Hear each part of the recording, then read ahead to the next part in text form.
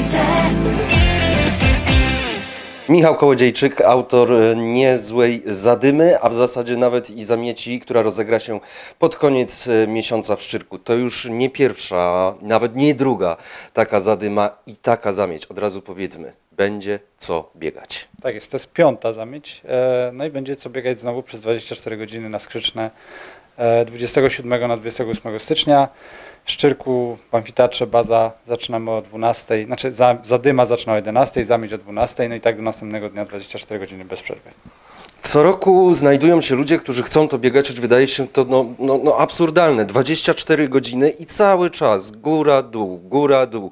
No, z tymi przerwami legendarnymi na jedzenie. Skąd się ci ludzie tam wzięli, Michał? E, No to są tacy ludzie podobni do nas, do ciebie, do mnie, którzy lubią zamiast siedzieć w domu i oglądać telewizję, gonić sobie na Skrzycznej i sprawdzać co dwie godziny jaka tam pogoda na górze i co na dole słychać. A jak zawsze ta pogoda dopisuje. Teraz skrzyczne, no trochę tak w zimowej aurze, ale spodziewamy się, że pod koniec stycznia może być ciekawie. No tak, patrzyliśmy na takie prognozy długoterminowe i ma tam sypnąć na koniec, chociaż teraz śniegu na górze jest dużo i jest trochę niebezpiecznie bezlodowo, e, jest trochę wietrznie, także no ta aura jest ekstremalna, tak jak zawsze na zamiecie. Zobaczymy, co będzie pod koniec stycznia. Mamy nadzieję na śnieg, tak jak w zeszłym roku. E, No i zobaczymy, no, czekamy. No, w zeszłym roku, mimo iż wszyscy się spodziewali tego śniegu, to tyle ciepłych słów usłyszał ten śnieg od e, zawodników, że no chyba w tym roku z tym śniegiem, a przynajmniej taką, takim jego rodzajem, nie będą się chcieli zmagać. No, w zeszłym roku był wyjątkowy śnieg, to był taki piasko-śnieg, który wszyscy zapamiętali do dzisiaj. Nie dało się ani tego ubić, ani po tym biec. Temperatura była taka, że on nie topniał.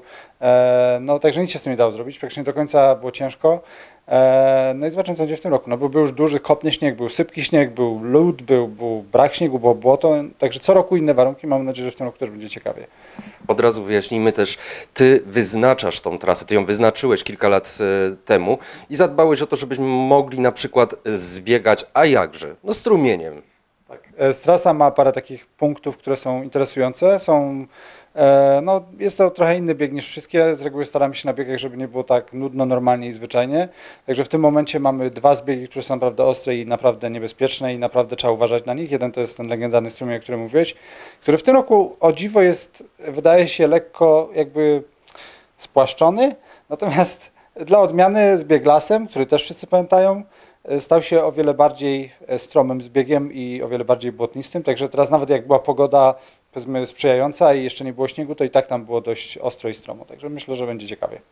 Dobrze, co roku na starcie staje kilkaset osób, ale te osoby tak naprawdę mają kilka wariantów tej jakże przyjemnej zabawy. Mogą indywidualnie, mogą startować e, drużynowo, mogą pobiec tylko za dymę. Tak. E, No opcji jest wiele. Można pobiec zadymę, zaczynając od zadymy, która startuje o 11, to jest tylko jedno kółko. I tą zadymę można albo pobiec w wyścigu z wszystkimi, czyli jakby wystartować o 11 i ścigać się kto pierwszy na mecie. Można w ciągu tych 24 godzin to jedno kółko zrobić w ramach zadymy samodzielnie, o której bądź porze. Są tacy, którzy już wiemy, że szykują się na zadymę nocną, bo chcą to zrobić w nocy. No i jest oczywiście zamieć, która trwa 24 godziny od 12 w południe w sobotę 27 stycznia do 12 w południe w niedzielę 28. E, No i tam opcji jest kilka. Można startować indywidualnie, czyli w kategoriach kobiety, mężczyźni. Można startować w teamach dwuosobowych, czyli mogą być mężczyzna, mężczyzna, kobieta, kobieta i mix. No i teraz w tych teamach można się wymieniać albo jeden raz leci jedno okrążenie, raz drugi, albo jeden, dwa, drugi dwa i tak dalej, albo czasami zdarza się tak, że jedna osoba leci tylko jedna, a drugi e, partner cały czas w kółko na- nabija kółka. No, znam takie roz, rozwiązanie z własnego e, doświadczenia.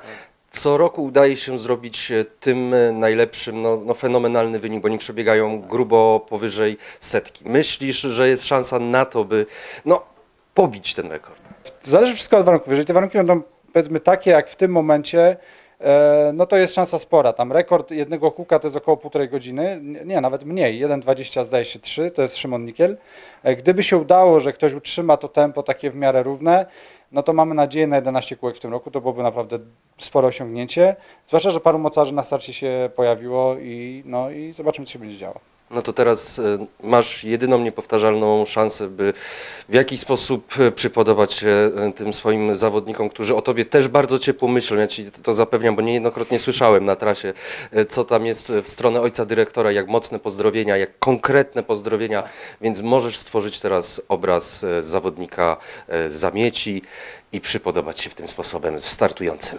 Więc zawodnik zamieci to taki człowiek, który bardzo lubi przygody i bardzo lubi wychodzić w różną pogodę, czy to wietrzną, czy czasami tak jak raz była burza, e, czy w śnieżycę, czy w zadymę, w zamieć, zawieje i tak dalej na górę, po to, żeby na dole usłyszeć ciepłe słowa ode mnie i od ekipy, żeby móc e, uścisnąć rękę i żeby móc opowiedzieć nam, jak tam było na górze, bo nam się za bardzo nie chce wtedy wejść na, na tą górę, bo jest po prostu zimno, wieje, jest śnieg i kto by tam w ogóle wychodził?